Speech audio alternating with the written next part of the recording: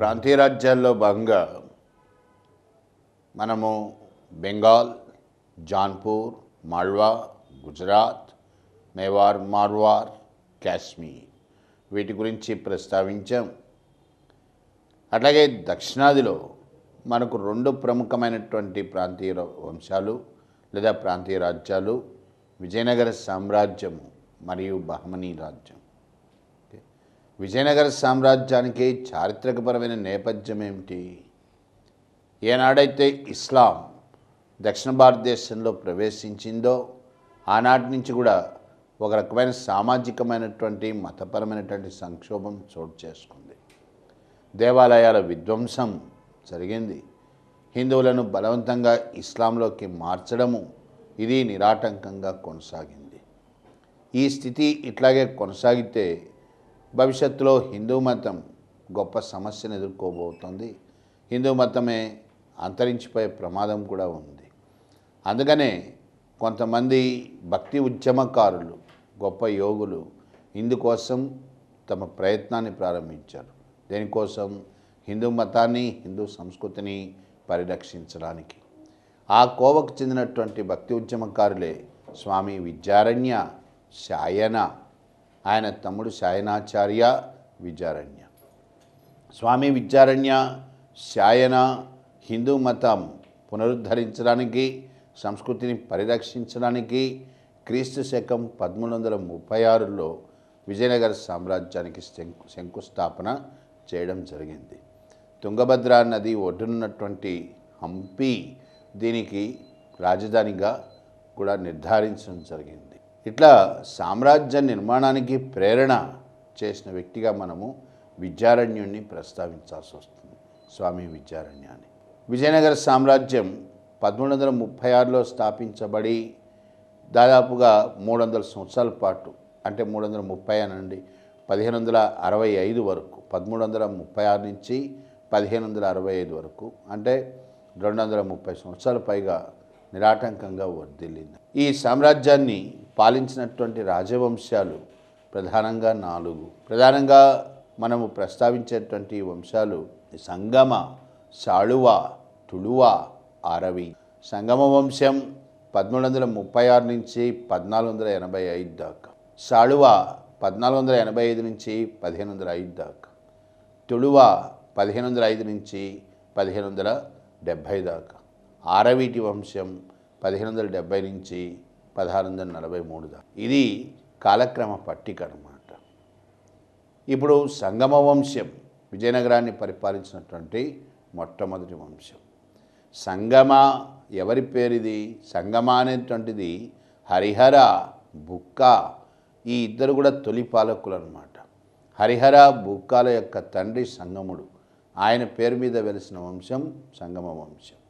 హరిహర బుక్క వీళ్ళ నేపథ్యమైంది హరిహర బుక్కాలు వాస్తవంగా కాకతీయుల కొలువు అంటే ప్రతాపరుద్రుడి యొక్క కొలువులో సేనాధిపతులు. ఎప్పుడైతే మొహమ్మద్ బిన్ తుగ్లక్ హయాంలో ఓరుగల్పై దాడులు జరిగాయో ప్రతాపరుద్రుడు ఓడిపై పట్టుబడ్డాడో ప్రతాపరుద్రుడు సరయు నదిలో దూకి నర్మదా నదిలో దూకి ఆత్మహత్య చేసుకుంటాడు. ఈ నాయకులు అంటే ఈ సేనాధిపతులు వీళ్ళు ఆ కొలువు వదిలిపెట్టి కన్నడ రాష్ట్రానికి వస్తారు. ఆ సమయంలోనే హోయసాళ రాజ్యానికి పాలకుడు మూడవ వీరబల్లాలుడు. మూడవ వీరబల్లాల కొలులో చేరారు వీళ్ళు. ఇక్కడ కూడా వీళ్ళు మొహమ్మద్ బిన్ తుగులక్కి పట్టుబడ్డారు. వీరిని తుగులక్ ఇస్లాంలోకి మార్చి తన తరఫున కంపిలి కంపిలీకి పాలకులుగా నియమించారు. ఇప్పుడు స్వామి విద్యారణ్య ఎప్పుడైతే హంపి రాజధానిగా విజయనగర సామ్రాజ్యానికి శంకుస్థాపన జరిగిందో అప్పుడు వీళ్ళు తిరిగి హిందూ మతంలోకి మార్చబడడం జరిగింది. హంపీలో మనకు విరూపాక్షాలయం అని ఉంటుంది. ఈ విరూపాక్షాలయంలో వీరిని తిరిగి హిందూ మతంలోకి మార్చడం జరిగింది. ఇట్లా వీరు తిరిగి హిందూ మతంలోకి వచ్చి పాలకులు అవడం చోటు చేసుకోవడం జరిగిందన్నమాట. హరిహర మొట్టమొదటి పాలకుడు. హరిహర హయాంలోనే మనకు బహమనీ సామ్రాజ్యం నిర్మాణం స్టార్ట్ అయిందన్నమాట. అంటే ఇక్కడ ఎట్లయితే విజయనగర సామ్రాజ్యం వచ్చిందో ఎగ్జాక్ట్గా పది సంవత్సరాలకి. అంటే పదమూడు వందల నలభై ఆరు కల్లా విజయనగర సామ్రాజ్యానికి పొరుగున బహమనీ రాజ్యం ఏర్పడ్డది. బహ్మనీ సామ్రాజ్యం ఏర్పడడానికి బహ సామ్రాజ్య నిర్మాణానికి కారణము సద్దాం అమీల్ అంటే మొహమ్మద్ బీన్ తుగులక్ యొక్క ప్రధాన భూమి శిస్తు అధికారులు వాళ్ళు తిరుగుబాటు చేసి దేవగిరి దేవగిరిలో తిరుగుబాటు జరిగింది. దానికి కేంద్రంగా బహుమనీ సామ్రాజ్యం ఏర్పడడం జరిగింది. మనకు ఎగ్జామ్లో తరచుగా ఏమడిగాడు క్వశ్చన్స్? అని అంటే బహమనీ సామ్రాజ్యం విజయనగర సామ్రాజ్యానికి ఉత్తర దిక్కున కేంద్రీకరించబడి ఉండగా తరచుగా వీళ్ళ మధ్య యుద్ధాలు జరుగుతున్నాయి. ఈ యుద్ధాలకు ప్రధాన కారణాలు ఏంది? అని అడిగాడు. ఇప్పుడు హంపి రాజధానిగా విజయనగర సామ్రాజ్యం ఉంది. నీకు ఉత్తర దిక్కులో బహమనీ సామ్రాజ్యం ఉంది. బహమనీ సామ్రాజ్యానికి తొలి రాజధాని గుల్బర్గా రెండవ రాజధాని బీదర్. తరచుగా వీళ్ళ మధ్య యుద్ధాలు జరగడానికి గల కారణం ఏంటి అంటే వాళ్ళు ముస్లింలు వీళ్ళు హిందువులు అయినందువల్ల ఈ యుద్ధాలు చోటు చేసుకోలేరు ఈ యుద్ధాలకు ప్రధాన కారణం రాయచూర్. రాయచూర్ దోవాబ్ అంటాం. రాయచూర్ దోవాబ్ అంటే అంతర్వేది. కృష్ణా తుంగభద్ర నదుల మధ్య ఉండేటువంటి అంతర్వేది. ఇది చాలా ఐశ్వర్యవంతమైన ప్రాంతం. ఈ ప్రాంతం కోసంగా తరచుగా యుద్ధాలు జరుగుతుండేవి. హరిహర హయాంలో మొదటి బహమనీ సుల్తాన్ అలావుద్దీన్ హసన్ బహమన్ గంగు అలావుద్దీన్ హసన్ విజయనగర సామ్రాజ్యంపై దాడి చేశాడు. హరిహరాను ఓడించి రాయచూర్ దువాబ్ దీన్ని ఆక్రమించగలిగాడు. ఇక్కడ ఇంకో విషయాన్ని కూడా ప్రస్తావించాలి. విజయనగర సామ్రాజ్యానికి రాజధాని అయినటువంటి హంపి ఆ కాలం నాటికి అంటే మధ్యయుగాల్లో ప్రపంచంలోనే అతిపెద్ద పట్టణము అని కూడా చెప్పబడ్డది. హంపిని దర్శించిన విజయనగర హంపిని దర్శించినటువంటి విదేశీ యాత్రికులు విజయ్ విదేశీ యాత్రికులు Niccolo Conti Abdul Razzaq Domingo Paes వీళ్ళ వర్ణనను బట్టి మనకేం తెలుస్తుంది? విజయనగరం రాజధాని హంపి ప్రపంచంలోనే అతిపెద్ద పట్టణము అని వాళ్ళు చెప్పడం జరిగిందనమాట. ఓకే. ఇప్పుడు హరిహర ఓడిపోయినాడు. అంతర్వేది రాయచ్చు ఇది బహ్మనీ సుల్తాన్ల వశము అయింది. హరిహర తర్వాత ఆయన తమ్ముడు బుక్క బుక్కరాయులు అధికారంలోకి రావడం జరిగింది.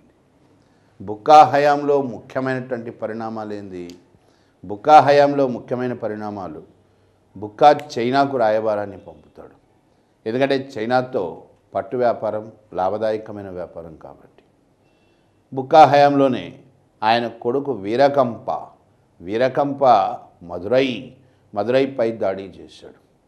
వీరకంప మదురైపై దాడి చేసి మదురైను ఆక్రమించడం వీరకంప యొక్క భార్య గంగాదేవి మధురా విజయం అనేటువంటి ఒక గొప్ప గ్రంథంగా రాయడం జరిగింది.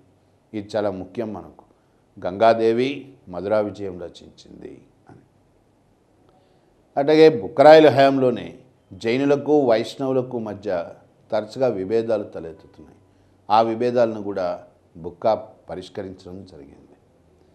మనకు బుక్కా తర్వాత మొదటి దేవరాయలు ఈయన ముఖ్యుడు అనమాట అధికారంలోకి వచ్చిన పాలకుల్లో. మొదటి దేవరాయలు హయాంలో ఏం జరుగుతున్నది అని అంటే ఆయన నీటిపారుదల సౌకర్యం కోసమని తుంగభద్ర నది పైన ఒక ఆనకట్టను నిర్మించాడు. హంపీలో ఇప్పటికీ కూడా మనము ఈ ఆనకట్ట యొక్క ఆనవాళ్ళని చూడవచ్చు అట్లాగే మొదటి దేవరాయలు హయాంలోనే మనకు నహాల్ ఉదంతము అనేది చోటు చేసుకుంది.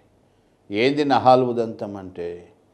పర్షియా చరిత్రకారుడు పెరిస్టా ఆయన ఏం చెప్తున్నాడు అని అంటే రాయచూరుకు చెందినటువంటి బ్లాక్ స్మిత్ అంటే కమ్మరి ఇనుము పని చేసేవాడు. ఆయన యొక్క కూతురు నహాల్ అందమైన ఈ నహాల్ అనే అమ్మాయి కోసము బహ్మనీ సుల్తాన్ తాజుద్దీన్ ఫిరోజ్ మరియు మొదటి దేవరాయలు యుద్ధం కూడా ఇద్దరు కూడా యుద్ధం చేయడం జరిగిందనమాట దాన్నే మనము నహాలు ఉదంతము అంటాం. ఈ యుద్ధంలో ముడ్గల్ యుద్ధము అంటాం. ఈ యుద్ధంలోనే దేవరాయలు ఓడిపోయినాడు. మొదటి దేవరాయలు ఓడిపోవడం జరిగింది. ఓకే. మనకు కొన్ని ఆధారాలు ఏం చెప్తాయంటే ఈ యుద్ధంలోనే తొలిసారిగా అంటే మొట్టమొదటిసారిగా మనం ఫిరంగులు వాడడం కూడా జరిగింది అని చెప్పి చెప్తారనమాట అందుకే ఇంతకుముందు కూడా చెప్పాం. దక్షిణ భారతదేశంలో మొట్టమొదటిసారిగా ఫిరంగులు వాడబడ్డాయి. ఉత్తర భారతదేశంలో మొదటి పానిపట్టు యుద్ధంలో బాబర్ వీటిని ప్రయోగించడం జరిగిందనమాట మొదటి దేవరాయల తర్వాత ఈ వంశంలోనే సుప్రసిద్ధుడు అని మనము ప్రస్తావించేటువంటి రెండవ దేవరాయలు అధికారంలోకి వస్తాయి. రెండవ దేవరాయల్ని మనము ప్రౌఢ ప్రౌఢదేవరాయలు అని కూడా పిలుస్తాం. ప్రౌఢ అంటే విద్యల్లో ఆరితేరినవాడు. ఆయన అభిరుచి ఏంది? అంటే ఏనుగులను వేటాడడం. అందుకనే ప్రౌఢదేవరాయలకి గజబేటకార అనేటువంటి ఇంకొక బిరుదు కూడా ఉండేదన్నమాట. ప్రౌఢదేవరాయ సంగమ వంశంలో సుప్రసిద్ధుడు అంట. ఈయన కాలంలోనే ఇటాలియన్ యాత్రికుడు నికోలో కాంటీ అట్లాగే పర్షియా రాయబారి అబ్దుల్ రజాక్ ఈ ఇద్దరు కూడా హంపీని దర్శించడం జరిగింది. పద్నాలుగు వందల నలభై రెండులో నికోలో కాంటి పద్నాలుగు వందల నలభై మూడులో అబ్దుల్ రజాక్ ఇద్దరు కూడా హంపీని దర్శించారు. నికోలో కాంటి అంటాడనమాట ఇంత పెద్ద పట్టణం ఇంకెక్కడా లేదు అని దాని చుట్టుకొలత పద్నాలుగు కిలోమీటర్లు అని అంట అని నికోలో కాంటి చెప్పడం జరిగింది. అట్లాగే అబ్దుల్ రజాక్ అంటున్నాడు భారతదేశ పాలకుల్లోకెల్లా ప్రౌఢదేవరాయలు అత్యంత ఐశ్వర్యవంతుడు. విజయనగర సామ్రాజ్యంలో ఎన్ని రేవు పట్టణాలు ఉన్నాయో కూడా లెక్కించడం కష్టము అని అంటాడు అబ్దుల్ రజాక్ దాన్ని బట్టి ఏం తెలుస్తుందంటే ఆర్థిక వ్యవస్థ అత్యంత వైభవంగా ఉంది అని చెప్పి చెప్పవచ్చు అన్నమాట. ప్రౌఢదేవరాయల కాలంలో చోటు చేసుకున్న పరిణామాలేంది ప్రౌఢదేవరాయలు విజయనగర సైన్యాలకు అశ్విక దళం వీళ్ళకి సమస్య ఏంటంటే గుర్రాలు తక్కువగా ఉండేవి. గుర్రాలకు గుర్రాల శిక్షణ అశ్విక దళంలో శిక్షణను ఇప్పించాలి అశ్విక దళంలో గొప్ప నిష్ణాతులు ముస్లింలు. వాళ్ళకి మంచి ఎక్స్పర్టైజ్ అనుభవం ఉంది కాబట్టి. అందుకనే ప్రౌఢదేవరాయలు ముస్లింలను అధిక సంఖ్యలో నియమించడం జరిగింది. దేనికోసం? విజయనగర సైన్యాలకు అశ్విక దళంలో శిక్షణను ఇప్పించడానికి ప్రౌఢదేవరాయలు ఇస్లాం ఇస్లాంని గొప్పగా గౌరవించాడు. ముస్లింల కోసమే హంపీలో ఒక మసీదుని నిర్మించాడు. తన సింహాసనం పైనే ఎప్పుడు కూడా ఒక ఖురాన్ ప్రతిని కూడా పెట్టుకొని ఉండేవాడు. దాన్ని బట్టి పవిత్ర కురాన్ని ఆయన గౌరవించాడని చెప్పి మనం చెప్పాల్సి ఉంటుంది. ఇది ఎగ్జామ్లో అడిగాడు. ముస్లింల కోసం హంపీలో ఒక మసీదును కట్టించినటువంటి విజయనగర పాలకుడు అంటే మనం ప్రౌఢదేవరాయలు అని చెప్పి చెప్పాలి. ప్రౌఢదేవరాయలకి సాహిత్యంలో గొప్ప ప్రవేశం ఉంది. స్వయంగా ఆయనకు మంచి పాండిత్యం ఉంది. ప్రౌఢదేవరాయలు సంస్కృతంలో మహానాటక సుధానిధి అనేటువంటి గొప్ప గ్రంథాన్ని రాయడం జరిగింది. ఇది సంగీతం పైన ఎక్కువగా ప్రస్తావిస్తుందన్నమాట సంగీతం గురించి. అట్లాగే ప్రౌఢదేవరాయలు వృత్రి అనేటువంటి ఇంకొక వ్యాఖ్యానాన్ని కూడా రాస్తారనమాట ప్రౌఢదేవరాయలు కొలువులో గౌడ ఢిండీమా అనే కన్నడ పండితుడు ఉండేవాడు. ఆ సమయంలోనే మనకు రెడ్డి రాజులు ఆంధ్రదేశాన్ని పరిపాలిస్తున్నారు. పెదకోమటి వేమారెడ్డి వేమారెడ్డి కొలువుకు చెందినటువంటి శ్రీనాథ మన తెలుగు కవి శ్రీనాథుడు. శ్రీనాథుడు హంపీకి వెళ్ళడం జరిగింది. గౌడ డిండిమను సవాల్ చేయడం జరిగింది. శ్రీనాథుడు గౌడ డిండిమను ఓడించాడు సాహిత్య సంవాదంలో. అపారమైన పాండిత్యం ఉన్న శ్రీనాథుడిని ప్రౌఢదేవరాయలు తన సంగీత సమ తన సాహిత్య సమావేశం విజయనగర పాలకులు సాహిత్య సమావేశాలు నిర్వహిస్తారు. ప్రౌఢదేవరాయలు నిర్వహించినటువంటి సాహిత్య సమావేశం ముత్యాలశాల ఈ ముత్యాలశాలలో ఆయన శ్రీనాథునికి కనకాభిషేకం చేశాడు. శ్రీనాథుడికి కవి సార్వభౌమ అనే బిరుదుని ఇచ్చాడు. ఇట్లా సాహిత్యం గొప్పగా వర్ధిల్లడానికి విజయనగర పాలకులు చక్కటి పునాదులు వేయడం జరిగిందనమాట ప్రౌఢదేవరాయల తర్వాత సంగమ వంశంలో పతనం స్టార్ట్ అయింది. ఈ వంశంలో చివరివాడు రెండో విరూపాక్షుడు అనమాట రెండో విరూపాక్ష అధికారంలోకి వచ్చే సమయానికి ఉత్తర దిక్కు నుంచి బహమనీయులు అట్లాగే తూర్పు దిక్కున. తూర్పు దిక్కున కళింగ దేశం ఉంది. కళింగ దేశానికి పాలకులు గజపతులు. గజపతులు ఉత్తర కోస్తా తీరం వెంబడి విజయనగర సామ్రాజ్యం యొక్క సరిహద్దులకు సరిహద్దుల వరకు చొచ్చుకొని వచ్చారు. నెల్లూరులో ఉదయగిరి అని ఉంది. ఉదయగిరి వరకు కూడా గజపతుల యొక్క ప్రాబల్యం విస్తరించిందనమాట రాజ్యంలో ఒక రకంగా అల్లకల్లోల పరిస్థితి ఏర్పడ్డది. ఈ పరిస్థితులను చక్కదిద్దడానికి గాను రాజకీయపరమైన మార్పు అవసరమైంది. ఆ మార్పునే మనం ఏమంటామంటే మొదటి కుట్ర అని అంటారు. దీన్ని కుట్ర అని ఎందుకు అంటారు అని అంటే ఒక సామంతుడు అధికారాన్ని చేజిక్కించుకుంటున్నాడు. చక్రవర్తిపై తిరుగుబాటు చేసి. ప్రస్తుతం అనంతపురం జిల్లా పెనుగొండ పెనుగొండకు పాలకుడైనటువంటి సాళువ నరసింహ రెండవ విరూపాక్షుని తొలగించి అధికారంలోకి వచ్చాడు. సాళువ నరసింహుడు అధికారంలోకి రావడం ఇది మొదటి కుట్ర అన్నమాట. ఫస్ట్ కాన్స్పిరసీ అంట. ఇప్పుడు సాళువ వంశం అధికారంలోకి వచ్చింది. పద్నాలుగు వందల ఎనభై ఐదు నుంచి పదిహేను వందల ఐదు దాకా. అంటే కేవలం ఇరవై సంవత్సరాలే వీళ్ళు పరిపాలించింది. సాళువ నరసింహుడు వంశస్థాపకుడు. సాళువ నరసింహ మనకు గర్వించదగినటువంటి గొప్ప పాండిత్యం ఉన్నటువంటి తాళపాక అన్నమాచార్య. ఓకే. అన్నమాచార్య ప్రపంచంలో ఎవరు రాయనటువంటి గొప్ప కీర్తన రాశాడు అనమాట ప్రపంచ సాహిత్యంలోనే అత్యధిక కీర్తన రాసినటువంటి వాడు తాళపాక అన్నమాచార్య. అన్నమాచార్యని సాళువ నరసింహుడు గొప్పగా ఆదరించడం జరిగింది. సాళవ నరసింహుడి కొలువులోనే మనకు రాజనాథ ఢిండిముడు ఉంటాడు. రాజనాథ ఢిండిమ ఈయన సాళువ అభ్యుదయం అనేటువంటి గ్రంథాన్ని రచించడం జరిగింది. సాళవ నరసింహుడి యొక్క కొడుకు ఇముడి నరసింహుడు. ఈ ఇముడి నరసింహుణ్ణి ఇముడి నరసింహుడి కాలంలోనే చంద్రగిరి కోట ఓకే మనకి ఇప్పుడు తిరుపతి పక్కనే చంద్రగిరి అని ఉంది.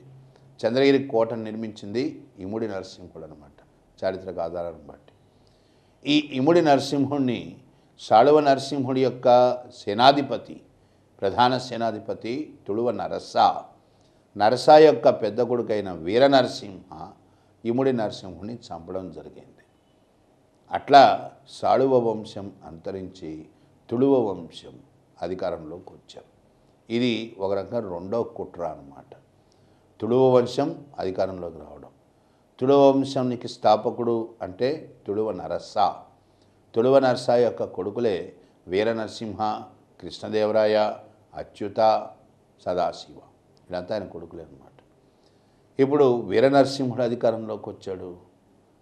పదిహేను వందల ఐదు నుంచి పదిహేను వందల తొమ్మిది దాకా వీర నరసింహ అన్నమాట హయాంలో జరిగినటువంటి ముఖ్యమైన మార్పు ఏమిటి అంటే వివాహపు శుంకం అంటే విజయనగర కాలంలో మనం అంగీకరించాల్సింది అంటే పన్నుల భారం చాలా ఎక్కువగా ఉండేది. ప్రతిదానికి కూడా పన్నులు వేయడం. ఎందుకంటే రాజ్యం నిరంతరము యుద్ధాల్లో ఉండేది కాబట్టి ఆ మైన ఆదాయం లేకపోతే యుద్ధాలు నిర్వహించడం కష్టం. వివాహపు శుంకం అనేది ఉండేది. దీన్ని వీర నరసింహుడు రద్దు చేయడం జరిగింది. వీరనరసింహుడు రాచపుండు అంటే క్యాన్సర్ దీంతో చనిపోయినాడు. ఆయన చనిపోయిన తర్వాత ఆయన తమ్ముడు కృష్ణదేవరాయలు అధికారంలోకి వస్తాడు. శ్రీ కృష్ణదేవరాయ అంట. పదిహేను వందల తొమ్మిది నుంచి పదిహేను వందల ఇరవై తొమ్మిది వరకు అంటే దాదాపు ఇరవై సంవత్సరాల పాటు శ్రీకృష్ణదేవరాయలు హంపి రాజధానిగా విజయనగర సామ్రాజ్యాన్ని పరిపాలించారు. కృష్ణదేవరాయ విజయనగర సామ్రాజ్య చరిత్రలోనే కాదు దక్షిణ భారతదేశ చరిత్రలోనే అత్యంత ప్రముఖుడైన పాలకుడు అనమాట the greatest of the history of south అంటాం. ఈయన కాలంలోనే స్వర్ణయుగము అని చెప్పదగిన స్థాయిలో సాహిత్యము సంస్కృతి వికసించాయన్నమాట. కృష్ణదేవరాయల అధికారంలోకి వచ్చేసరికి అంతర్గతంగాను బహిర్గతంగాను సమస్యలు ఉన్నాయి అంతర్గతంగా ఏంది? విజయనగర పాలనా వ్యవస్థలో మనకు ముఖ్యమైనటువంటిది ఏంది అని అంటే ఒక పాలనా విధానం ఉంది. దాన్నే నాయక విధానము అంటాం. నాయకులు లేదా నాయంకరులు అంటాం. ఈ విధానం అసలు యాక్చువల్గా ప్రవేశపెట్టింది కాకతీయులు అనమాట కాకతీయ రుద్రమదేవి కాలం నుంచి కూడా మనకు నాయంకర వ్యవస్థ ఉన్నది. నాయక విధానం. నాయకులు అంటే ప్రభుత్వ ఉద్యోగులు సివిల్ సర్వెంట్స్. పాలనా వ్యవస్థకి వెళ్ళినప్పుడు ఇంకా వివరించడం జరుగుతుంది ఈ వ్యవస్థ గురించి. పాయింట్ ఏమిటంటే కృష్ణదేవరాయల అధికారంలోకి వచ్చినప్పుడు నాయకులు తిరుగుబాట్లు జరుగుతున్నాయి. ఈ నాయకులు పాలకుడు బలమైతే బలవంతుడైతే అణిగి మణిగి ఉంటారు. పాలకుడు బలహీనపడ్డాడంటే తిరుగుబాట్లు చేస్తారు. శివసముద్రం ఉమ్మత్తూరు ఈ ప్రాంతాలకు చెందిన నాయకులు కృష్ణదేవరాయలపై తిరుగుబాటు చేశారు. ఈ తిరుగుబాట్లను ఆయన సమర్థంగా ఎదుర్కొన్నాడు అణిచివేశాడు. ఇంకా ఇప్పుడు బహిర్గత సమస్యలపై దృష్టి పెట్టాలి. ఆయన అధికారంలోకి వచ్చినటువంటి సంవత్సరమే బహ్మనీ సామ్రాజ్యం కూడా విడిపోయింది. బహ్మనీ సామ్రాజ్యం మొత్తం కూడా ఒక సామ్రాజ్యంగానే ఏర్పడ్డది. పదమూడు వందల నలభై ఆరులో. పదిహేను వందల తొమ్మిది కల్లా బహ్మనీ సామ్రాజ్యం నాలుగు రాజ్యాలుగా విడిపోయింది ఐదుగా కాదు. ఐదోది గోల్కొండ. గోల్కొండ తర్వాత ఏర్పడ్డది మొట్టమొదట అది విడిపోయినప్పుడు నాలుగు రాజ్యాలే. అహ్మద్నగర్ బీదర్ బేరార్ మరియు బీజాపూర్. ఇట్లా నాలుగు రాజ్యాలుగా విడిపోయింది. ఈ కూటమిలో అంటే గోల్కొండతో కలిపితే మొత్తం ఐదు అనమాట ఈ కూటమిలో అత్యంత బలమైనటువంటిది బీజాపూర్. అతి పెద్దది మరియు అతి బలమైనది. కృష్ణదేవరాయలు ముందుగా బీజాపూర్ పైననే దృష్టి పెట్టాడు. పదిహేను వందల తొమ్మిదిలో కృష్ణదేవరాయలు బీజాపూర్ సుల్తాన్ అదిల్ షా ఆయనపై దాడికి వెళ్ళాడు గొబ్బేరు అనే యుద్ధంలో అదిల్ ఖాన్ లేదా అదిల్ షా అంట ఆయన ఓడిపోయినాడు బీజాపూర్ సుల్తాన్. కృష్ణదేవరాయలు బీజాపూర్ని ధ్వంసం చేశాడు.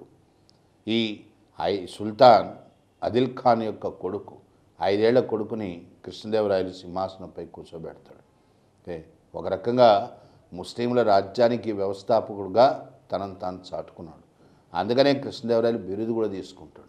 యవన రాజ్య స్థాపనాచార్య అనేది ఆయన మొదటి బిరుదు అనమాట ఇట్లా బీజాపూర్పై కృష్ణదేవరాయలు పూర్తి ఆధిపత్యాన్ని కనబరిచాడు. ఇది జరిగిన తర్వాత ఏమైంది? పదిహేను వందల పదిలో కృష్ణదేవరాయలు పోర్చుగీస్ వారితో ఒప్పందం కుదుర్చుకున్నాడు. ఎందుకంటే ఇంతకుముందు కూడా చెప్పాను భారతదేశ సముద్రపు జలాల్లోకి పోర్చుగీస్ వాళ్ళు అంతకుముందే ప్రవేశించారు. పద్నాలుగు వందల తొంభై ఎనిమిది కల్లా వాస్కోడో గామా ప్రవేశించాడు. మొదటి నుంచి కూడా పోర్చుగీస్ వాళ్ళు అరేబియా సముద్రంపై తమ ఆధిపత్యాన్ని నెలకొల్పారు. గొప్ప గొప్ప పాలకులు కూడా పోర్చుగీస్ వారి అనుమతి లేకుండా తమ నౌకలను వ్యాపార నౌకలను అరేబియా సముద్రంలోకి పంపలేని పరిస్థితి ఏర్పడ్డదన్నమాట. పంపించే పరిస్థితి ఏర్పడ పంపించలేని పరిస్థితి ఏర్పడ్డది. మొఘల్ చక్రవర్తి అక్బర్ కూడా తన నౌకల్ని మక్కాకు పంపడానికి పోర్చుగీస్ వాళ్ళు అనుమతి తీసుకోక తప్పలేదన్నమాట. అందుకనే కృష్ణదేవరాయలకి తెలుసు సముద్రాలపైన పోర్చుగీస్ వాళ్ళకి తిరుగులేని ఆధిపత్యం. వాళ్ళతో శత్రుత్వం పెట్టుకోవడం వల్ల ప్రయోజనం లేదు. వాళ్ళతో మైత్రిని వహిస్తూ తనకు కావలసిన ప్రయోజనాలు చేకూర్చుకోవాలి. గొప్ప దౌత్యాన్ని ప్రదర్శించాడు ఇక్కడ కృష్ణదేవరాయలు. పదిహేను వందల పదిలో కృష్ణదేవరాయలకి రెండవ Portuguese governor Alfonso de Albuquerque అంటాం. అల్బుకర్క్కి మధ్య ఒప్పందం కుదిరింది. ఆ ఒప్పందం ప్రకారం విజయనగర సైన్యాలకు కావలసినటువంటి గుర్రాలు వీటిని పోర్చుగీస్ వాళ్ళు పర్షియా నుంచి తీసుకొని రావాలి. అట్లాగే విజయనగర సైన్యానికి కావలసినటువంటి మందుగుండు సామాగ్రి. ఓకే. దాన్నే మనము పెట్లుప్పు అంటాం తెలుగులో. ఇంగ్లీష్లో సాల్ట్ పీటర్ సాల్ట్ పీటర్ అనేది మనకు ఈ గంధకపు పొడి ఇవి యూనో ప్రేళ్ళు పదార్థాలు కరెక్ట్ పదం ఎక్స్ప్లోజివ్స్ ప్రేళ్ళు పదార్థాల్లో వాడుతాం అన్నమాట. ఇవి ఫిరంగులకు అత్యంత ముఖ్యమైనదన్నమాట. ఇవన్నీ కూడా సప్లై చేయడానికి అంటే ఇవ్వడానికి పోర్చుగీస్ వాళ్ళు అంగీకరించారు. అట్లాగే విజయనగర సైన్యాలకు తర్ఫీదు తర్ఫీదు ఇవ్వడానికి కూడా వాళ్ళు అంగీకరించారు. ఇందుకు గాను పోర్చుగీస్ వాళ్ళు క్రిస్టోసిరి ఫిగారిడో అనేటువంటి సేనాధిపతిని పంపారు. ఈ సహాయం చేసినందుకు గాను కృష్ణదేవరాయలు పోర్చుగీస్ వాళ్ళకి గోవా గోవా డియో డామన్ గోవా యాక్చువల్గా ఆయన రాజ్యంలో అంతర్భాగం కాదు. ఇది కూడా మనం గుర్తించాలి. గోవా బీజాపూర్ సుల్తాన్కి చెందింది. ఆల్రెడీ ఆ సుల్తాన్ని కృష్ణదేవరాయలు ఓడించాడు. ఇప్పుడు కృష్ణదేవరాయలు పోర్చుగీసు వాళ్ళకి గోవాని ఇవ్వడానికి అంగీకరించాడు. బదిలీ చేయడానికి. ఇట్లా పోర్చుగీస్ వారితో ఒప్పందం కుదిరింది.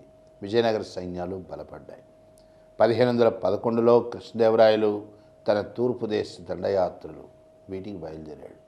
తూర్పు దేశ దండయాత్రలు ఎందుకోసము అంటే కోస్తా ఆంధ్ర తీరం మొత్తం కూడా గజపతుల ఆధిపత్యంలో ఉంది కాబట్టి దాన్ని విముక్తి చేయాలి కాబట్టి.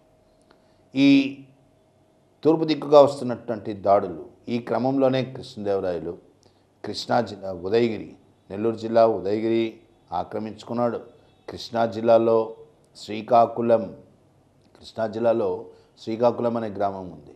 అక్కడ కృష్ణదేవరాయలు కొంత విశ్రమిస్తాడనమాట కొంతకాలం. ఆయన శ్రీకాకుళంలో ఆంధ్ర మహావిష్ణువు దేవాలయం.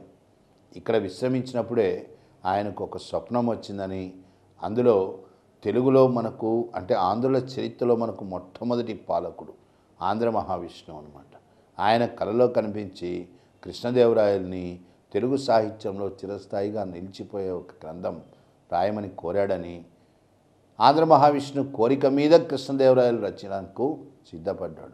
కాబట్టే ఆ రచనకు విష్ణు చిత్తీయం అని పేరు పెట్టాడు. దాన్నే మనము ఆముక్తమాల్యద అంటున్నాం. ఆముక్తమాల్యద అస్సలు పేరు విష్ణు చిత్తీయం. దీని రచనకు ప్రేరణ ఎక్కడ కలిగింది అంటే కృష్ణా జిల్లా శ్రీకాకుళంలో అనమాట ఎప్పుడైతే కృష్ణదేవరాయలు అక్కడ విశ్రమించాడో అప్పుడు జరిగింది ఇది. కృష్ణదేవరాయలు ఉత్తర కోస్తా దీన్ని పూర్తిగా గజపతుల బారి నుంచి విముక్తి చేశాడు. గజపతుల రాజధాని కటకము కటకంపై దాడి చేశాడు. ప్రతాపరుద్ర గజపతి ఓటమి పాలైనాడు. ప్రతాపరుద్రుడి యొక్క కూతురు అన్నపూర్ణ అన్నపూర్ణ కృష్ణదేవరాయల్ని వివాహం చేసుకోవడం కూడా జరిగింది. గజపతుల రాజధాని కటకము ఈ దాడిలో ధ్వంసం చేయబడ్డది. కృష్ణదేవరాయలు తూర్పు దిక్కున తన రాజ్యానికి సరిహద్దులు సరిహద్దులుగా సింహాచలం మనకు వైష్ణవ పుణ్యక్షేత్రాల్లో ఇది చాలా ప్రముఖమైందనమాట విశాఖపట్నంలో మనకు దగ్గరగా మనకు సింహాచలం ఉంది. సింహాచలంలో ఒక శాసనాన్ని ఒక స్తంభాన్ని నాటించడం స్తంభ శాసనాన్ని. అట్లాగే పాట్నూర్ పాట్నూరు వద్ద కూడా ఒక స్తంభ శాసనాన్ని వేయిస్తాడు. అంటే దాని అర్థం ఏంటంటే తూర్పు దిక్కు సరిహద్దులు అని చెప్పి చెప్పడం అన్నమాట. ఈ విజయ పరంపరతో ఆయన తిరిగి వెనక్కు రావడం జరిగిందనమాట ఇట్లా చూస్తే ఏమనిపిస్తుంది అంటే ఒక రకంగా దక్షిణ భారతదేశం మొత్తం కూడా ఒకే ఒక్క కేంద్రీకృత పాలనా విధానం కింద ఆయన హయాంలో రావడం జరిగింది అని చెప్పి చెప్పచ్చు అన్నమాట. అందుకని కృష్ణదేవరాయలు గొప్ప సామ్రాజ్య నిర్మాత ఆయన గొప్ప సామ్రాజ్య నిర్మాతే కాదు గొప్ప సంస్కరణవాది కూడా. ఎక్కడ కనిపిస్తుంది ఆయన సంస్కరణవాదము అంటే కన్యాశుల్కం ఎదురుగా కట్నాన్ని ఇచ్చి స్త్రీని కొనుగోలు చేయడం అనమాట దీన్ని మనం ఒక సాంఘిక దురాచారంగా పరిగణిస్తామన్నమాట. ఈ కన్యాశుల్కాన్ని కూడా కృష్ణదేవరాయలు రద్దు చేసినట్టు తెలుస్తోందన్నమాట. అట్లాగే కృష్ణదేవరాయలు ఆయన పేరు చరిత్రలో చరిత్రలో చిరస్థాయిగా నిలబడిపోవడానికి గల కారణము అపారమైన అపారమైన సాహిత్యం అన్నమాట. సాహిత్య పాండిత్యం అన్నమాట. సాహిత్యంలో ఆయనకు గొప్ప పాండిత్యం అనేటువంటిది సంక్రమించింది. అది సంస్కృతము మరియు తెలుగు రెండిట్లో కూడా అనమాట సంస్కృతాంధ్రము అంటాం మనం. ఏ, స్థాయిలో ఉన్న పాండిత్యం అసలు మనకే ఆశ్రమిస్తుంది ఇన్ని కావ్యాలు ఎట్లా రాయగలిగాడు ఈయన అని అండర్స్టాండ్. ఎందుకంటే పాలనాపరంగా ఉన్న ఒత్తిడులను తట్టుకుంటూ అన్ని కావ్యాలు రాయడం అనేది సామాన్యమైన విషయం కాదనమాట. కృష్ణదేవరాయలు తెలుగులో రాసినటువంటి ఆముక్తమాల్యద పంచమహాకావ్యాల్లో ఒకటి అని అంటాం మనం తెలుగు సాహిత్యంలో అట్లాగే ఆయన సంస్కృతంలో మదాలస చరిత్ర మదాలస మదాలస చరిత్ర జాంబవతి పరిణయం పరిణయం అంటే పెళ్ళి ఉషాపం సత్యవధూ పరిణయం సకల కథాసారం ఇట్లాంటి గొప్ప గొప్ప గ్రంథాలు కూడా రచించడం జరిగింది. సామాన్యంగా ఏంటంటే మనం అంటుంటాం దేశ భాషలందు తెలుగు లెస్స ఇది కృష్ణదేవరాయలతో బాగా పాపులర్ అయింది అని. వాస్తవమే. కానీ నిజానికి ఆ పదప్రయోగం చేసింది ఏది? దేశ భాషలందు తెలుగు లెస్స అని పలకడం. ఇది మొట్టమొదటిసారిగా మనకు వినుకొండ వల్లభరాయుడు కాకతీయుల కాలానికి చెందినవాడు అనమాట వినుకొండ వల్లభరాయుడు క్రీడాభిరామం రాస్తాడు. అదొక వీధి నాటకం అనమాట దాంట్లో వాడబడ్డది ఈ ప్రయోగం పదప్రయోగం. దేశ భాషలందు తెలుగు లెస్స. తెలుగు లెస్సగానే చేశాడు కృష్ణదేవరాయలు. తెలుగు సాహిత్యానికి గొప్ప ఆదరణ కనబరిచాడు. అష్టదిగ్గజాలను పోషించాడు. సాహితీ సమావేశం దాన్నే మనం ఏమంటాము? భువన విజయం అంటాం అన్నమాట దీంట్లో మనకు ఎనిమిది మంది కవులు కనిపిస్తారు అష్టదిగ్గజాలు అన్నమాట. అందుకనే ఆయన్ని ఆంధ్ర భోజుడు అంటాము సాహితీ సమరాంగణ సార్వభౌముడు అని కూడా అంటాం పదిహేను వందల ఇరవై తొమ్మిదిలో కృష్ణదేవరాయలు చనిపోవడం జరిగింది. కృష్ణదేవరాయలు చనిపోయే సమయానికి ఆయన తమ్ముడు అచ్యుత అచ్యుత తిరుమలలో ఉన్నాడు. అచ్యుత తిరుమలలోనే పట్టాభిషేకం చేసుకుంటాడు. ఇక్కడి నుంచి ఇంకా రాజకీయాల్లో మనకు అస్థిరత కనబడుతుంది. ఎందుకంటే కృష్ణదేవరాయల యొక్క అల్లుడు కృష్ణదేవరాయల యొక్క అల్లుడే అలియా. కన్నడలో అలియా అంటే అల్లుడు అని వస్తుంది అన్నమాట అర్థం. అలియా రామరాయ ఈయన వాస్తవ అధికారం చెలాయిస్తాడు. అలియాని మనము కింగ్ మేకర్ అని అంటాం. అలియా చక్రవర్తి అయినటువంటి కృష్ణదేవరాయల తర్వాత వచ్చినటువంటి అచ్యుతను తొలగిస్తాడు. తొలగించి తనకు అనుకూలమైనటువంటి సదాశివ సదాశివాని పాలకుడుగా చేస్తాడు. ఇక్కడ మనకు అలియా కింగ్ మేకర్ అంటాం. కింగ్ మేకర్గా కనబడతాడు అన్నమాట అలియా గొప్ప సమర్థుడు. ఆయన సమర్థతను ప్రశ్నించడం కానీ సమస్య ఏమైంది అంటే అలియా కొంచెం అహంభావి విపరీతమైనటువంటి ఆత్మవిశ్వాసం ఉన్నవాడు అనమాట తన శక్తి సామర్థ్యాలపై. ఇదే తర్వాత వినాశనానికి కారణమైంది ఒక రకంగా. అలియా బహమనీ కూటమి బహమనీ కూటమిలో ఇప్పుడు ఐదు రాజ్యాలు వచ్చేసాయి. పదిహేను వందల పద్దెనిమిది కల్లా గోల్కొండ కూటమిలో సభ్యరాజ్యమైంది. అంతకుముందు గోల్కొండ బీదర్లో అంతర్భాగం అన్నమాట. ఐదు రాజ్యాల కూటమి బహమనీ కూటమి. ఈ కూటమి పట్ల అలియా ఒక ప్రత్యేక విధానాన్ని పాటించాడు. Divide and rule. వాళ్ళ మధ్య వాళ్ళకు విభేదాలను సృష్టిస్తూ వాళ్ళపై ఆధిపత్యం చలాయించడం. ఇది మనకి ఎక్కడ కనిపిస్తున్నది మొట్టమొదటిసారి ఇక్కడ? అంటే ఇక్కడ సమస్య కూడా ఎక్కడి నుంచి వచ్చిందంటే అలియా ఇక్కడ వాస్తవ అధికారాన్ని చెలాయిస్తున్నప్పుడే ముందుగా గోల్కొండలో సంక్షోభం గోల్కొండ కులీ కుతుబ్ షా బడే మాలిక్ ఆయన చంపబడ్డాడు. ఆయన పెద్ద కొడుకు మీర్ జంషీద్. మీర్ జంషీద్ చేత. మీర్ జంషీద్ బడే మాలిక్ను చంపి కులీ కుతుబ్ షాను చంపి తమ్ముడైన ఇబ్రహీంను పారదోలేడు అనమాట తరిమివేశాడు అట్లా తరిమివేయబడ్డ ఇబ్రహీం కులి హంపీకి వచ్చి అలియా కులులో ఆశ్రయం పొందుతాడు. ఇక్కడే ఇబ్రహీం కులి అంటే ఇంకా వేరే పని అంటూ ఏమి లేదు కాబట్టి ఆశ్రమంలో కులు ఆయన కులులో ఆశ్రయం పొందాడు కాబట్టి ఇబ్రహీం కులి సంస్కృతం నేర్చుకున్నాడు. సంస్కృతంలో చక్కటి పాండిత్యము. ఎంత పాండిత్యము? తెలుగు కవులు కూడా ఇబ్రహీం కులిని మల్కావిరాముడు మల్కీ బరాన్ అని అంటారన్నమాట. తండ్రిని చంపి అధికారంలోకి వచ్చిన మీర్జంషీ ఆయన బ్లడ్ క్యాన్సర్తో చనిపోయినాడు. అందుకని తిరిగి ఇబ్రహీం కులీ గోల్కొండకు వచ్చి సుల్తాన్ అవుతాడు. సుల్తాన్ అయిన ఇబ్రహీం కులీ స్వతంత్ర యూనో ప్రవర్తన కనబరిచాడు అనమాట అంటే ఒక రకంగా అలియాని గుర్తించలేదు. ఇది అలియా మనస్తాపానికి కారణమైంది అందుకనే అలియా ఇబ్రహీం కులీకి ఒక గుణపాఠం చెప్పడానికే బీజాపూర్ సుల్తాన్ని రెచ్చగొట్టాడు. హైదరాబాద్పై అంటే గోల్కొండపై దాడి చేసేలా చేశాడు. ఇబ్రహీం కులీ ఓడిపోయినాడు. ఇట్లా ఇబ్రహీంపై ఒక రకంగా ప్రతీకారం తీర్చుకున్నట్టు ఇప్పుడు కూటమిలో బీజాపూర్ బలపడ్డది. బలపడిన బీజాపూర్ని బ్యాలెన్స్ చేయాలి దాని స్థాయిని తగ్గించాలి. అందుకనే అలియా అహ్మద్ నగర్ అహ్మద్ నగర్ నిజాం షాహీలు వాళ్ళతో చేతులు కలిపాడు బీజాపూర్ సుల్తాన్ని ఓడగొట్టాడు. ఇది ఆయన పాటిస్తున్నటువంటి డివైడ్ అండ్ రూల్ విభజించు పాలించు అనే విధానం. అక్కడ జరిగింది ఏంటంటే ఓడిపోయిన బీజాపూర్ సుల్తాన్ తన కూతుర్ని అహ్మద్నగర్ పాలకుడు హుసేన్ నిజాం షా ఆయనకి ఇచ్చి పెళ్ళి చేశాడు. వాళ్ళకి ఒక అన్- అండర్స్టాండింగ్ ఏర్పడ్డది. ఓకే? వాళ్ళ మధ్య వాళ్ళకి విభేదాలకు కారణం అలియా అని వాళ్ళు గుర్తించారు. ఇదే బహ్మనీ కూటమి అనేది ఏర్పడడానికి కారణమైందనమాట పదిహేను వందల అరవై నాలుగు డిసెంబర్ ఓకే? పదిహేను వందల అరవై నాలుగు డిసెంబర్ నుంచి పదిహేను వందల అరవై ఐదు జనవరి ఈ మధ్యకాలంలో మనకు తాలికోట యుద్ధం జరుగుతుంది. తాలికోట యుద్ధమే రాకసి తంగడి యుద్ధం అని కూడా అంటాం. అనేవి ఇవి ఏంటంటే ఇవి గ్రామాలు.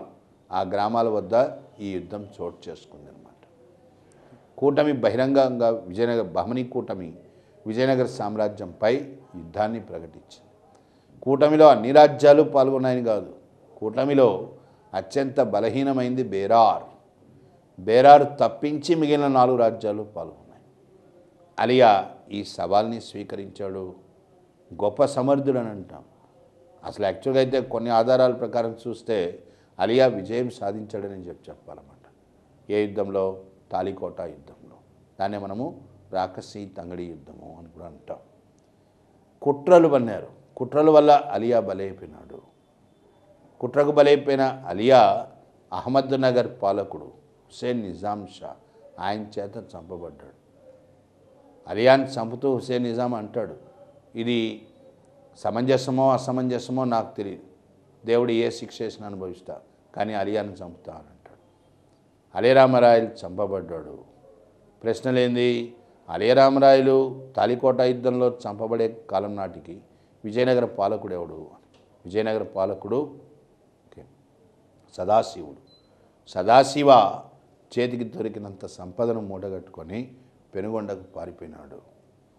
అలియా ఎప్పుడైతే చంపబడ్డాడో బహ్మనీ సైన్యాలు హంపీలో ప్రవేశించాయి.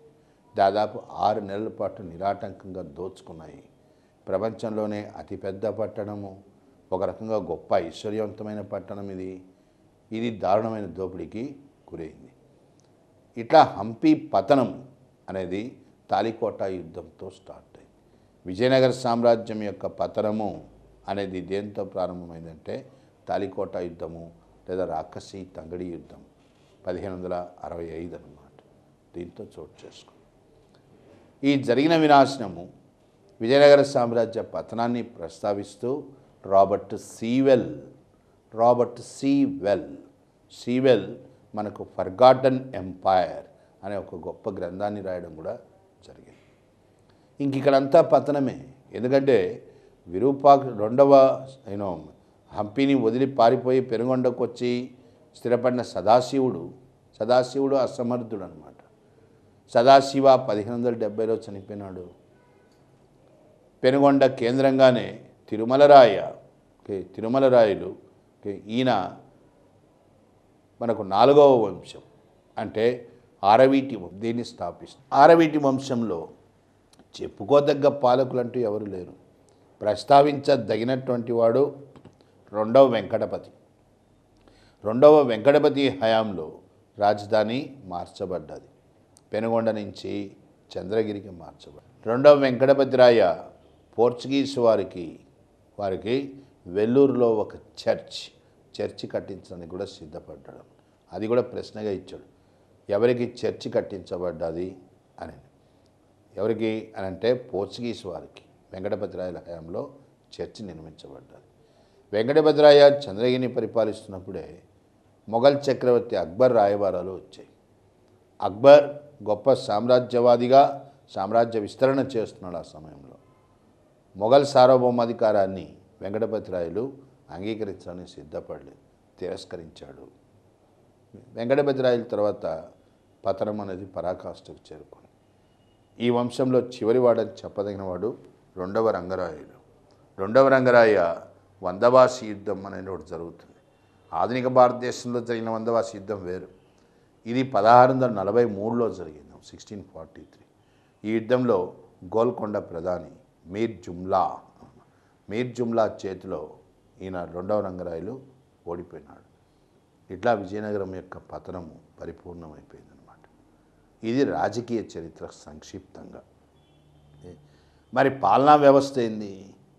ఎందుకంటే మనకు ఎగ్జామినేషన్లో ఓకే పాలనా వ్యవస్థ అడ్మినిస్ట్రేషన్. పాలనా వ్యవస్థ దీని మీద పదజాలం కూడా ఉన్నది. ఈ పదజాలం కూడా మనకు ముఖ్యమే. దాని మీద కూడా ప్రశ్నలు వేస్తున్నారు అప్పుడప్పుడు. మరి పాలనా వ్యవస్థను తెలుసుకోవడానికి ఆధారాలు ఏంటి కృష్ణదేవరాయల ఆముక్తమాల్యద. ఆయన రచించిన ఆముక్తమాల్యద. రాయవాచకం అనే గ్రంథం దాంట్లో పదాల వివరణ ఉంటుంది రాయవాచకం.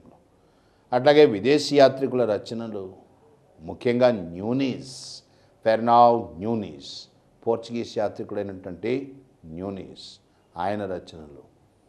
అట్లాగే పోర్చుగీస్ ఇతర పోర్చుగీస్ యాత్రికులైనటువంటి డామింగో పేజ్ బర్బోసా వెర్తోమా వీళ్ళ రచనలు. ఇంతకుముందే చెప్పాం ఇటాలియన్ యాత్రికుడైన నికోలో కాంటే పర్షియా రాయబారైనటువంటి అబ్దుల్ రజాక్ వీళ్ళందరి రచనలు మనకు ముఖ్యం అన్నమాట దాని ద్వారా మనము ఒక అభిప్రాయానికి రాయగలు రాగలుగుతాము పాలనా వ్యవస్థ పైన. మరి పాలనా వ్యవస్థ ఎట్లా ఉంది? కేంద్ర ప్రభుత్వం కేంద్ర స్థాయిలో చక్రవర్తి సర్వోన్నతాధికారి అన్నమాట. చక్రవర్తికి సహకరించడానికి గాను మనకు ఒక సెక్రటేరియట్ అంటే సచివాలయం ఉంటుంది. దాన్ని ఏమంటాము?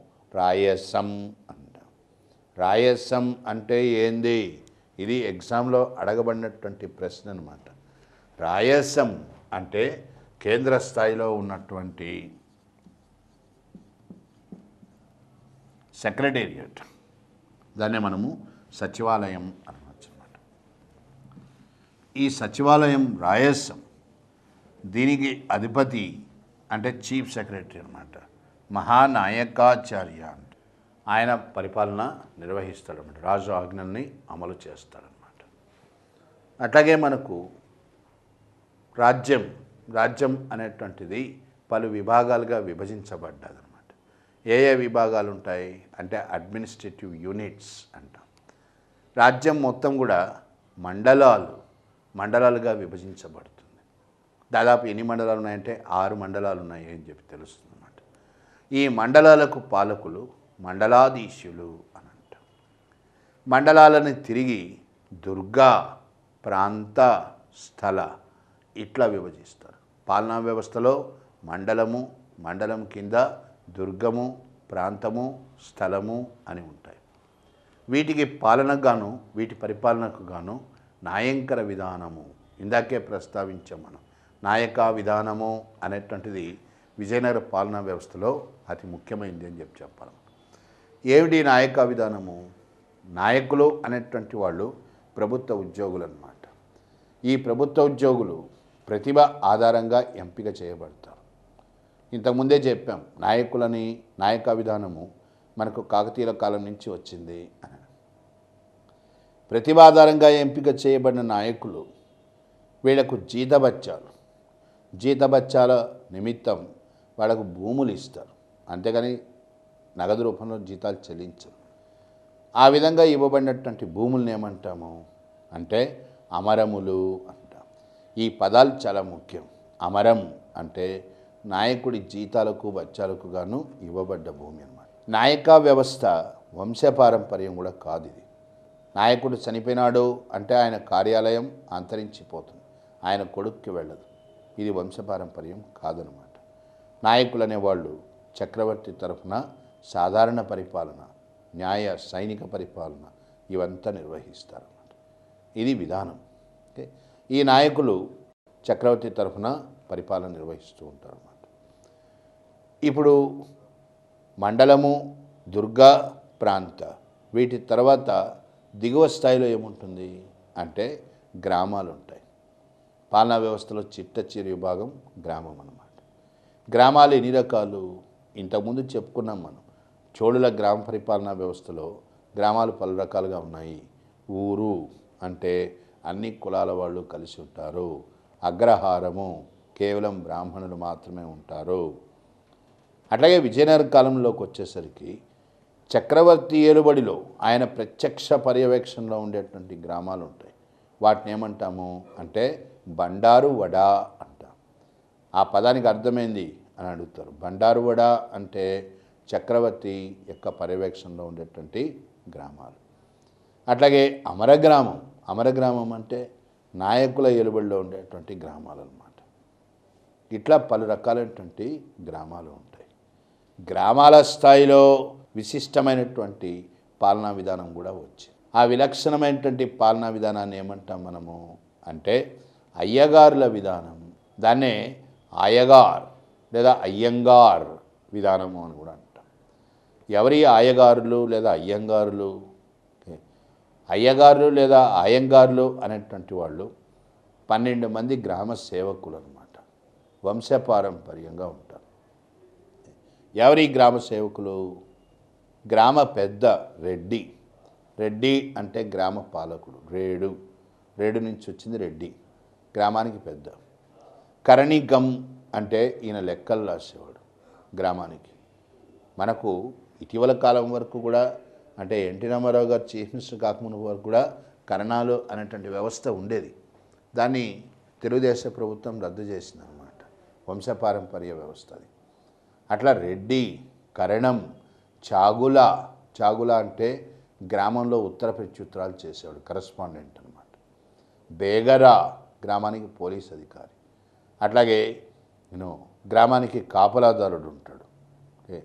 గ్రామ కాపలాదారిని నేను రాత్రిపూట పహరాలు కాస్తుంటానమాట తలారి అంటాం. ఇప్పటికి కూడా కొన్ని గ్రామాల్లో తలారులు ఉన్నారు. ఓకే. అట్లాగే వంశపారంపర్య కార్యకర్తల్లో గ్రామ పెద్దలైనటువంటి కుమ్మరి కమ్మరి సాకలి చివరకు యూనో కాటికాపరి వీళ్ళందరూ కూడా వివిధ వృత్తులు చేసేవాళ్ళు అనమాట వీళ్ళందరికీ కూడా జీతాలకు బదులుగా భూములు ఇవ్వబడతాయి. ఆ భూముల్ని ఏమంటాము అంటే మిరాసి అంటాం. మిరాసి భూములు అంటాం. ఇట్లా వంశపారంపర్య కార్యకర్తలు ఉంటారు గ్రామస్థాయిలో. ఆ విధానాన్నే మనము అయ్యగార్ల విధానం అంటాం.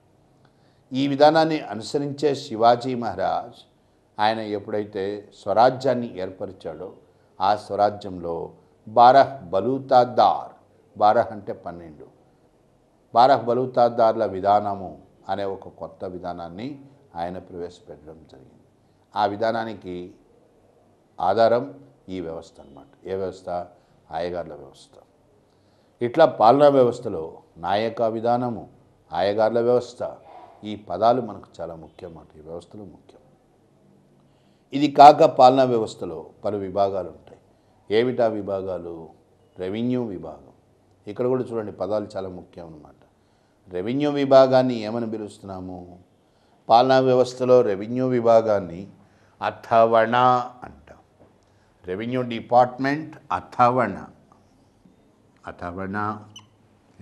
అథవణ అంటే ఏంది? అథవణ అంటే రెవెన్యూ విభాగం. దీనికి ఒక అధిపతి ఉంటాడు హెడ్ ఆఫ్ ది డిపార్ట్మెంట్. ఆయన ఏమని పిలుస్తాము? మహాకరణికం అంటాం chief accountant. Revenue revenue revenue అంటేనే మనకు ముందు మనకు స్ట్రైక్ అవ్వాల్సింది ఏంటంటే భూమి శిస్తు. ప్రధానమైనటువంటి ఆదాయ మార్గం భూమి శిస్తు. మరి భూమి శిస్తుని ఏమని పిలిచారు? విజయనగర కాలంలో భూమి శిస్తును సిస్ట్ అంటాం.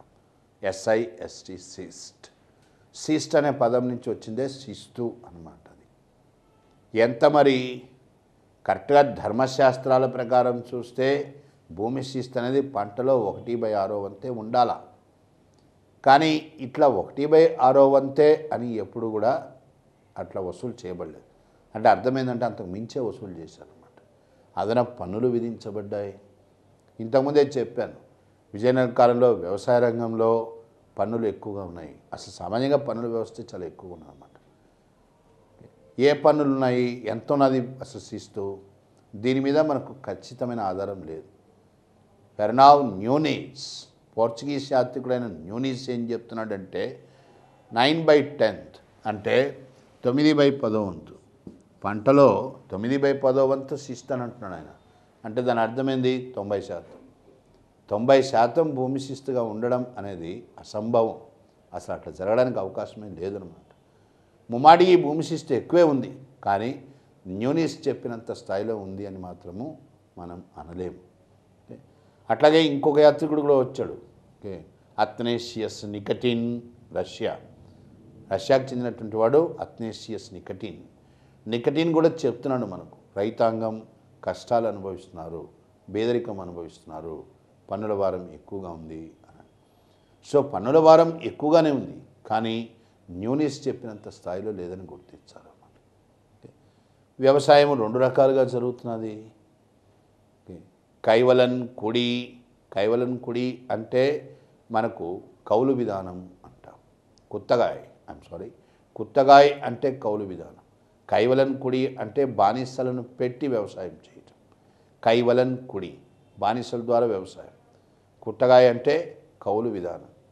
ఇట్లా రెండు రకాలుగా కూడా వ్యవసాయం జరిగింది అని చెప్పి తెలుస్తుంది అన్నమాట ఇది రెవెన్యూకి సంబంధించినంతవరకు. ఇంకా సైనిక నిర్వహణ సైనిక పరిపాలన నిర్వహణకు గాను కూడా మనకు ఒక ప్రత్యేక శాఖ ఉంటుంది. ఈ ప్రత్యేక శాఖను మనం ఏమని పిలుస్తాము అంటే ఖండచెర అంటాం. ఇందాకే చెప్పాను ఈ పదాలు చాలా ముఖ్యం. సైనిక నిర్వహణ సైనిక పరిపాలన నిర్వహించడానికి గాను ఖండచెర ఇది ప్రధానమైనటువంటి శాఖ అన్నమాట సైనిక నిర్వహణకు ఈ శాఖకు అధిపతి ఉంటాడు. ఆ శాఖకు అధిపతిని ఏమంటాము? మహాదండనాయక దండనాయక మహాదండనాయక ఇదంతా సైన్యాధికారులు అన్నమాట. ఈయన ఆధ్వర్యంలో ఈ శాఖ నిర్వహించబడుతుంది. అట్లాగే న్యాయ నిర్వహణ. న్యాయ నిర్వహణ సామాన్యంగా గ్రామ పంచాయతీలో నిర్వహిస్తుంటాయి. వివాదాలు స్థానిక వివాదాలన్నీ కూడా పంచాయతీలో పరిష్కారం చేస్తారు. ఇది కాక రాజ్యం కొంతమంది అధికారులను నియమిస్తుంది. రాజ్యం చేత నియమించబడినటువంటి అధికారిని ప్రాడ్ వివాక అంటాం. ప్రాడ్ వివాక. ఈయన న్యాయ నిర్వహణ చేస్తాడు. మ్యాజిస్ట్రేట్స్ అన్నమాట. వీడు కాక ఇంతకుముందే చెప్పాను కౌటిల్యుడు అర్థశాస్త్రంలో కొన్ని న్యాయ వ్యవస్థను ప్రస్తావిస్తాడు. కంటక శోధక అంటే నేరాలను విచారించేటువంటి న్యాయస్థానం నేరవాద్యములు. సివిల్ వాద్యములు ఉంటాయి. వాటిని విచారించడానికి ధర్మస్థేయ అంటాం.